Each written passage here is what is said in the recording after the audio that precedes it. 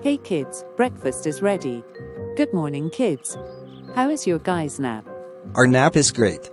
That's great. Now sit down while I get your breakfast. So Linda, what do you think our breakfast is gonna be? I hope we get eggs once again, because eggs are my favorite breakfast. Come on. We already eating eggs for months, and it's time to have something different. We already eat 10 times now. And do you have a problem with eggs? Besides, it's not a big of a deal. We are having eggs once again and that's final. I'm not sure if we are having eggs once again. You don't know until we find out. Yeah, whatever you say, idiot. Don't call me an idiot, that's not very nice. Alright, you two, here is your breakfast.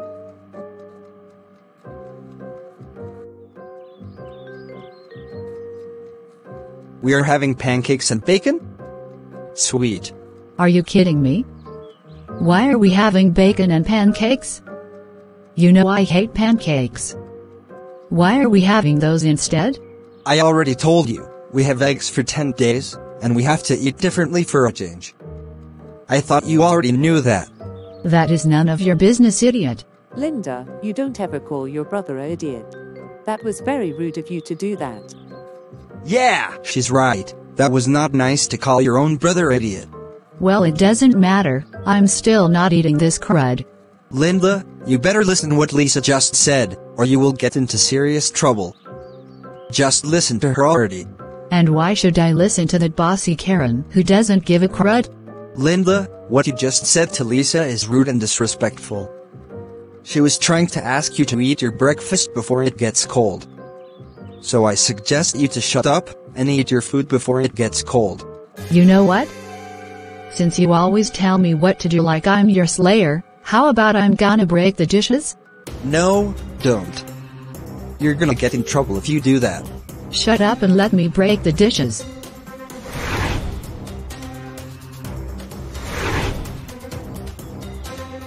Hey, I was eating that. Give it to me right now. I haven't finished eating my food. Too bad, because I'm gonna do just that.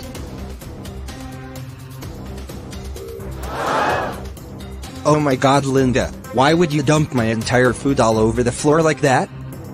You are wasting food.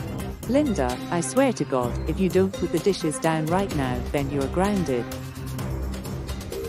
Don't you do it? I'll do it all right.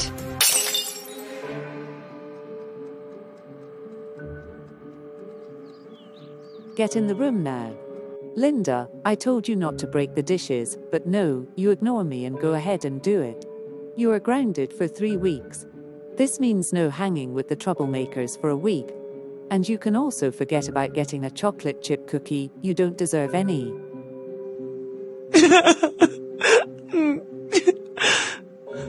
No, not the chocolate chip cookies.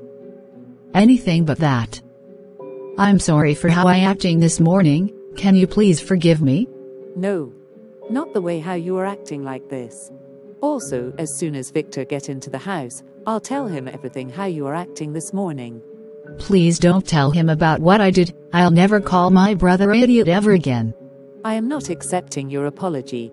Not the way how you are acting so rude at a breakfast table. Now stay in your room and come down until then.